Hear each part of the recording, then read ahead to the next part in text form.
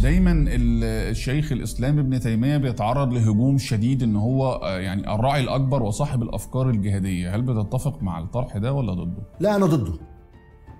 يعني رغم إن هو ابن تيمية بيتاخد منه كل المقتطفات والحاجات الأدلة اللي هي بتعملها داعش والقاعده وهذه التنظيمات لكن خلينا حالة ابن تيمية نفسها.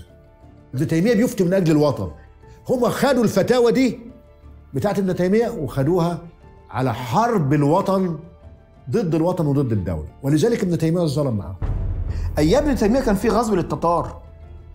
والتتار للأسف لما كانوا بيفوقوا من الخمر وخلافه كانوا بيقولوا يقتلوا المسلمين. أبي كده من غير حاجة كده بيستلوا بقتل المسلمين. والمسلمين كانوا للأسف في حالة من الاستكانة بشكل غير طبيعي لدرجة إن هم كانوا لما يجي يقول لهم معيش سيف هروح أجيب وجه السيف استنوني هنا يستنوه. ويجي يقطع رقابيهم فابن تيمية كان ليه أقوال ساعتها ضد هؤلاء.